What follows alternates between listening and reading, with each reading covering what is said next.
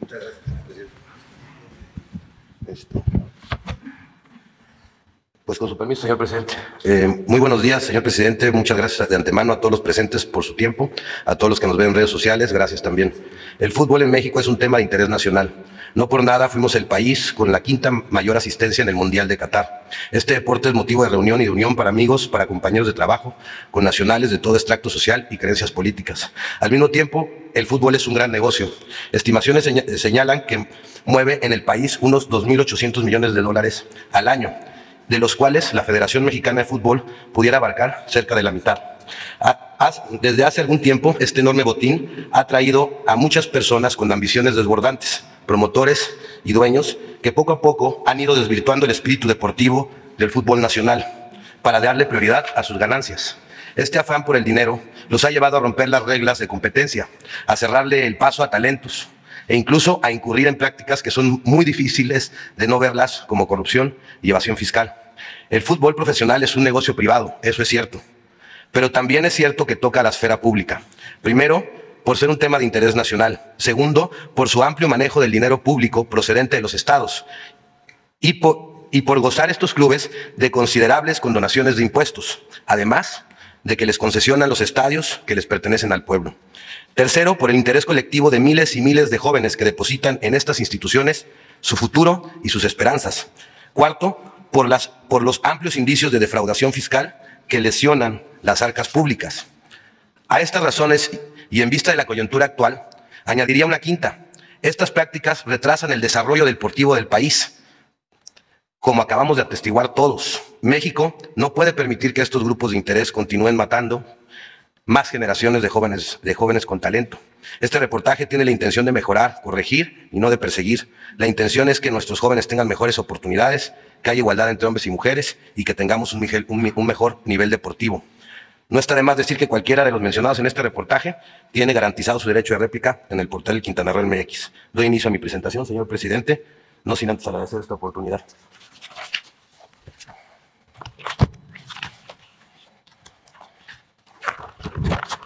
La siguiente, por favor. La, la compra-venta de jugadores a sobreprecio ha sido una de las formas en donde se generan más eh, ganancias en el fútbol. Eh, un promotor coloca un director técnico en un club deportivo de primera división que al mismo tiempo él mismo representa o mantiene relaciones con directivos en el club para luego buscar en el extranjero eh, jugadores con un precio económico y revenderlos a equipos mexicanos en un sobreprecio de 100, del 100%, 200, 300 y hasta 500%. El sobreprecio generalmente se reparte entre involucrados y hay moches para poder aceptar este tipo de, de precios. Las operaciones de compra-venta de jugadores no son vistas por el SAT. Y pongo algunos ejemplos de una transacción de un correo electrónico entre eh, promotores en donde, pues básicamente, están diciendo, este correo es del 2012, están diciendo que, eh, pues el precio del jugador eh, real, que por ejemplo en el caso del jugador Funes Mori, en ese momento eh, su precio real era de dos- 2.5 millones de euros y eh, lo querían vender en 4.5 millones de dólares. O el de Vilchis, eh, eh, Andrés Vilchis, que es un, fue un goleador de la Copa América, y pues bueno, pensaban sacarlo entre 1.5 y 1.8 para revenderlo en 4 millones de dólares en México. Bueno, también hay un correo electrónico en donde precisamente los promotores mandan un correo electrónico a un club deportivo de Colombia, en donde presumen que también son también son eh, representantes de varios directores técnicos en México y ahí mencionan a muchos directores técnicos que, eh, pues bueno, juegan todavía y están, son muy prestigiados en México. Este, este apartado lo documenté muy bien en un reportaje que escribí en el Quintana MX que se llama El Cártel del Gol. Están, hay ejemplos muy este, claros ahí y pues bueno, pues voy a pasar a la siguiente lámina. Luego los contratos privados para evadir impuestos. El capítulo 5 del reglamento de transferencias y contrataciones de la FIFA establece que en su apartado quinto, en el artículo 51, que todos los pagos de las operaciones celebradas tanto de contado como a plazo se efectúan obli- obligatoriamente a través de una cámara de compensación. Esa cámara de compensación tampoco está regulada por el SAT, tampoco tiene, eh, digamos, una vista. Y ahí pongo un ejemplo de un correo en donde precisamente el Club Atlas, en una negociación con un promotor, le decía que al momento de documentar esto, ustedes me solicitaron hacerlo en dos contratos, uno oficial para registrar frente a la federación y otro complementario donde se complementan los salarios y todo. Y estos contratos, pues bueno, pues también vimos aquí la compra del Club Pachuca que realizó con una operación con un jugador de 7.5 millones de dólares a una empresa que se llama Colarca SADCB, que en fuentes abiertas, pues eh, pudimos eh, ver que es una importadora y pues bueno, este es el uso, digamos, de los contratos dobles. Y para dejar más asentado este tema, eh, voy a presentar una grabación entre un presidente de la Federación Mexicana de Fútbol en activo con un presidente de club, en donde precisamente ellos hablan de los contratos por fuera y por dentro.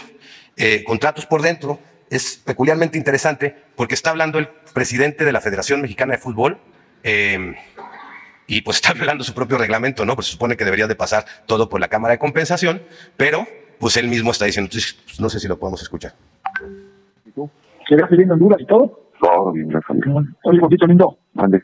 un favor, este gordito, no me ha pagado Morelia, no me ha pagado Tijuana. Este está encima de, No, no son de mamadas, Álvaro. cabrón, son mamadas, cabrón. Diga Guzmán, gordo, que no mames. Diga Guzmán también. Que no chingue, gordo, lleva más de dos siempre hay una bronca con el de, eh, aunque Bonilla y yo hemos estado sobre eso, pero el de, el de Morelia es por afuera, ¿no? Sí.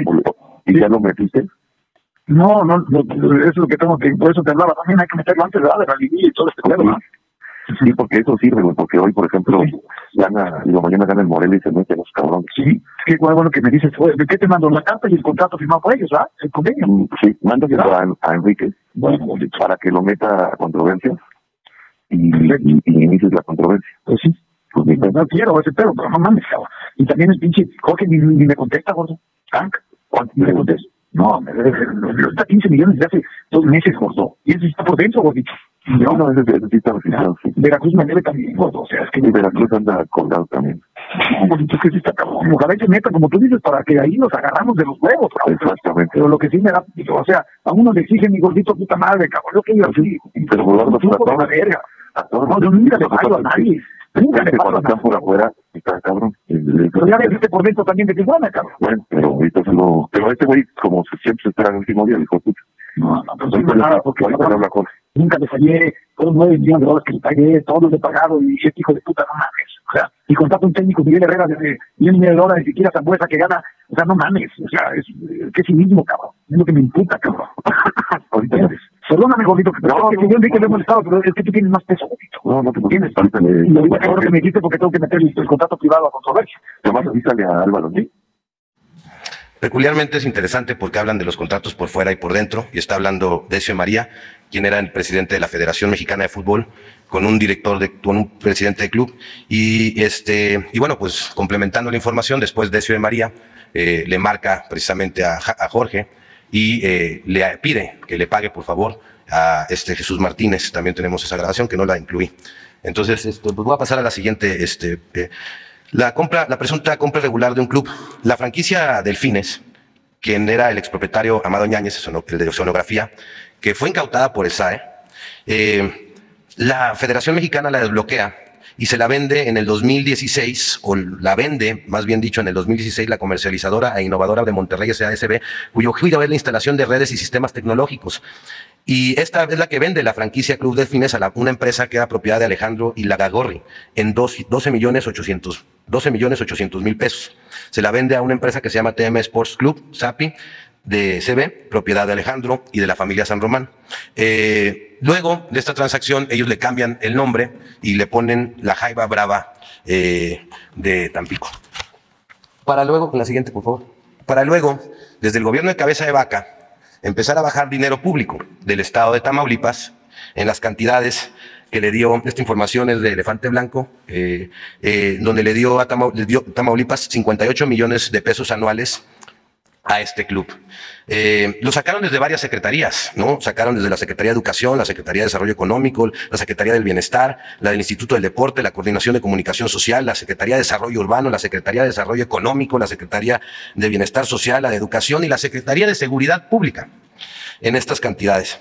El gobierno de Tamaulipas pues, dio esta cantidad de dinero y para la recepción de esos recursos, presuntamente Alejandro Ilagagorri presentó y presuntamente abrió una cuenta bancaria a espaldas de la familia San Román, eh, o así lo confirma la información que tenemos en, la- en las manos, y eh, teniendo y la familia San Román se entera de estos contratos luego de que fueran publicados por eh, el reportaje que se llamó que se llama Jaiba Brava del periodista Carlos Manuel Suárez del portal Elefante, eh, Elefante Blanco. Pasaré a, otro ejemplo. Otro ejemplo de dinero público en el fútbol. El mm, llamado modelo Pachuca. Eh, Murillo Caram le vende a Jesús Martínez eh, el equipo del Pachuca en cerca de un millón de pesos cuando valía casi 10. Luego otro gobernador, Núñez Soto, le dona dos terrenos en la hacienda de la Concepción, propiedad del Estado, y parte de la zona plateada, en donde hacen una universidad de fútbol privada, que hay que decir que es carísima, que no es nada fácil estudiar, nada barato estudiar en esa universidad, y hacen un hotel, un centro de convenciones, estacionamientos. El regalito aproximadamente fue de dos mil millones de pesos pertenecientes a los hidalguenses. Luego Osorio Chón también, eh, eh, como gobernador de Hidalgo, también eh, da dinero público para hacer el dinero, lo que se convirtió el Salón de la Fama. Siguiente. Estas son condonaciones de impuestos que se le han hecho a clubes. Felipe Calderón y Enrique Peña Nieto le condonaron 2.620 millones de pesos de impuestos a 12 clubes entre 2007 y 2018. Tenemos que al Cruz Azul le condonaron cerca de los 330 millones, al Toluca 28, al Atlante 61, al Guadalajara 9, al Templo Mayor de Chivas 4, a la promotora deportiva Guadalajara 468 millones, al Club Atlas 348, a Pumas 14, a Pachuca 7, a Impulsora Fútbol de Aguascalientes 7, al Veracruz 253 millones y al Club Monterrey 1084 millones. Sí quiero decir que esta no es toda la información, hay más condonaciones, pero no pudimos accesar a esta eh, información. Fue, de hecho, esta información fue relevante porque eh, se tuvo que entablar un juicio para poder este, que se hiciera pública. Y, bueno, luego viene este, pues la violación del artículo 4 de nuestra Constitución que habla de la mujer y el, eh, hombre son iguales ante la ley. Esta, protegida, esta protegerá la organización y el desarrollo de la familia. También el mismo artículo habla que toda persona tiene derecho a la cultura física y a la práctica del deporte. Sin embargo, las jugadores profesionales de fútbol en México, eh, pues no tienen los mismos eh, eh, oportunidades de salario que tiene un varón. Y esto, pues las mujeres ganan entre 6 mil y 60 mil pesos, mientras un hombre puede ganar desde 100 mil hasta 5 millones de pesos mensuales. Cuando investigué sobre este tema me decían es que no es negocio el tema del fútbol femenil o no llenan los estadios. Pero también hay que decirles que pues tampoco hacen la misma publicidad, que tampoco hacen la misma mercadotecnia, que tampoco impulsan al, al, fútbol eh, profesional femenil como impulsan el varonil. Y esto es una desigualdad que hay en el fútbol entre los hombres y las mujeres. Ahí puse dos contratos que tienen ejemplos de salarios de una mujer y un hombre. A siguiente lámina, por favor. Aquí pongo actos inmorales antideportivos que se dan en el fútbol. Por ejemplo, el cobro a padres de familia para que sus hijos debuten o tengan más minutos de juego. Tenemos documentados más de 50 casos de padres de familias quienes por miedo de represalias contra ellos o sus hijos, pues han pedido anonimatos en donde les piden dinero precisamente para debutar a sus hijos, para poder este, debutar, eh, hacerlos jugar. Como ejemplo tenemos el caso de Jesús, quien señala al profesor Gonzalo Román Bolaños de haberle pedido 400 mil pesos en concepto de patrocinio para debutar a su hijo en el Alebrijes de Oaxaca. también en este caso hay otro, que eh, ya tiene una denuncia penal contra otro promotor que le cobró otro dinero para poderlo debutar en otros clubes. Después venimos con la preferencia de lo económico y no por lo deportivo. El afán de priorizar los beneficios económicos para los dueños de los clubes, estos toman la decisión de eliminar el ascenso y el descenso, lo que ha perjudicado el nivel de competitividad en la Liga MX. Y pues bueno, lo hacen para que sus clubes no bajen y porque cuando baja un club eh, a, primera a la Liga de Expansión, pues baja considerablemente el precio de la franquicia y las ganancias que tienen de ellos. Eh, también hoy en día cada club puede tener hasta ocho extranjeros jugando en la cancha, lo que limita el espacio a los jóvenes talentos mexicanos y fomenta el negocio de la compra-venta de jugadores a sobreprecio y el presunto fraude fiscal del que habíamos hablado en la primera, en la primera lámina. Eh, antes no era así, antes había nada más cinco. Y la multipropiedad que está prohibida por la FIFA, la cual ha aumentado en los últimos años en México y que causa un grave conflicto de intereses en el fútbol mexicano. Esta me trajo mucha la atención porque la mayoría de los ciudadanos creemos que los Pumas son de la Universidad Autónoma de México, pero no, en realidad eh, son del Club Universidad Nacional AC, una asociación civil con una eh, personalidad jurídica propia, ajena a la universidad, a la cual están integrados empresarios, periodistas, políticos, exfuncionarios de la universidad y funcionarios activos que necesitan tener en esa asociación. Y pues uno de los que es dueño aparece como socios en la parte de los Pumas, pues imagínense, es Ciro Murayama Rendón, consejero del INE, Jorge Espinosa de los Monteros, quien es promotor y vende jugadores eh, también. De hecho, a, él se le achaca, ahorita a él se le, se le da que hayan contratado a Dani Alves ahí en, en los Pumas, o sea, un grave conflicto de intereses, ha vendido muchos jugadores en México, es perteneciente al, al, al, reportaje que escribí del cartel del gol como uno de los operadores, promotores con más transacciones que lo hacen a través de prestanombres, y esto es importante. Llegar a ellos es muy, muy complicado porque usan a otro, a otro, a otro para llegar a ese, a esa transacción. También están este Alejandro Miramora, nieto del abogado, eh, también este Eduardo Medina, este, hijo de Eduardo Medina Mora, Raúl Medina Mora, eh, Alonso Carvajal Villaciencio, que es comentarista de Televisa. Y bueno, esta, este reportaje fue publicado por Mauricio eh, Romero en el portal Aristegui Noticias. Y pues bueno, es bien interesante porque eh, la universidad le da 50 millones de pesos anuales y le presta el estadio a esta asociación para que, para que puedan este, llevar a cabo sus actividades. Y me llama mucho la atención porque antes de hacer esta separación, eh, todos los jugadores que salían de la UNAM eh, pues tenían que estudiar y tener una profesión para poder seguir jugando. Y por eso vimos la generación de Hugo Sánchez y por eso el máximo goleador de nuestro país, pues también es odontólogo. Y dentro de sus compañeros, pues había veterinarios y otro tipo de profesionistas. Hoy en día ya no necesitan estudiar los jóvenes y muchos ponen su esperanza en el fútbol y después no los debutan y después eh, los engañan, les cobran y ¿qué pasa? Pues se quedan sin una carrera, sin una aspiración o con una preparación eh, académica y los frustran. Y tengo documentados varios eh, casos de jóvenes que han sido, que tienen 24 años, no los debutaron, son excelentes jugadores, han jugado en la selección, en la selección nacional, este club sub 15, sub 17 y después no los debutan en primera división y se quedan ya sin, sin la esperanza, les rompen la esperanza y luego no saben ni qué hacer porque no estudiaron y eso no pasaba en la Universidad Autónoma y hoy sí pasa, ¿no? Eh, y bueno, pues el fútbol se le quitó a la universidad. Tengo una serie de conclusiones que me gustaría decir. Hay una falta de regulación por parte del Estado eh, muy, muy grande en el fútbol y esto complica la recaudación y fomenta el lavado de dinero y la evasión de impuestos. Eh, se debe fortalecer a la Comisión de Apelación y Arbitraje del Deporte, la conocida como el CAT, y se debe prohibir que cualquier persona vinculada a un club deportivo sea presidente o consejero de esta asociación, de esta organización, de esta institución, perdón. El CAT debe de abrir carpetas de oficio cuando eh, un hecho público notorio denuncia alguna irregularidad en el fútbol y debe tener carácter coercitivo porque en este momento no lo tiene. Eh, también una tercera recomendación es quitar del control de la Federación Mexicana a las televisoras. Hoy en día eh, las televisoras tienen el control de la Federación y de la Selección Mexicana y eh, pues yo, eh, a modo de sugerencia, pues a lo mejor estaría muy bien nombrar un comisionado, un comité regulador conformado por especialistas independientes en fútbol que vigile el buen funcionamiento de la selección y de los jugadores y el cuerpo técnico, la selección de ellos. La selección mexicana debe de ser de los mexicanos y no de los negocios de pocos y los intereses de pocos. Llevan nuestro nombre, nuestro país, nos representan. Y hoy en día yo la verdad no me siento representado por la selección mexicana que pues básicamente representa el interés de dos televisoras y que de unos cuantos eh, personas eh, que pues bueno han encontrado un gran negocio ahí. Yo no me siento representado por ello. Eh, cuatro, fomentar la creación de escuelas de fútbol públicas y privadas, la, corregir la desigualdad entre hombres y mujeres y debe ser sancionado esa parte y corregirla de manera inmediata. Y seis, todas las compras de ventas de jugadores deben regularse en un marco legal que cierre el paso al, eh, al sobreprecio, a elevación de impuestos y al lavado de dinero. Y siete, pues reducir la cantidad de extranjeros autorizados para jugar en la cancha y para que tenga cada club, para que tenga más oportunidades. Eh, porque aparte en los extranjeros está el negocio, eh, no en los mexicanos. O sea, cuando hacen una compra-venta de un jugador, pues generalmente pues son extranjeros. Y el tema es muy amplio, hay muchas cosas que decir del fútbol, me hubiese gustado abarcar más temas, pero pues está el tema de Cruz Azul, está el tema de eh, las Chivas, que es interesante el tema de las Chivas porque hay una, una sentencia que se tiene que ejecutar en la corte para regresarle el equipo a un este a una asociación civil que le vendieron de manera irregular al fallecido Vergara y que este pues bueno no han podido ejecutar su sentencia y regresar el equipo a la asociación civil. Y ese caso es bien interesante porque la, qué pasó la asociación civil de un plumazo y por palancas la convirtieron en una eh, empresa privada es como si convirtiéramos la Cruz Roja de repente en un hospital privado.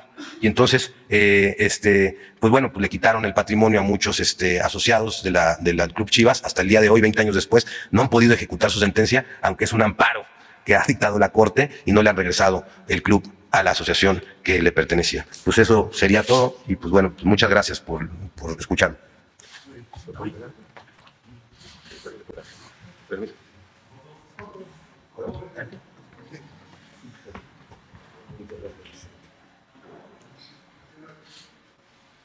Muy bien. Permiso, secretario.